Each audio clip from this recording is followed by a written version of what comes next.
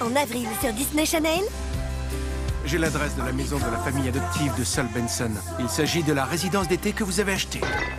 Tu sais qu'il part tout à l'heure Il faut que tu lui parles. Luna, je serai toujours près de toi.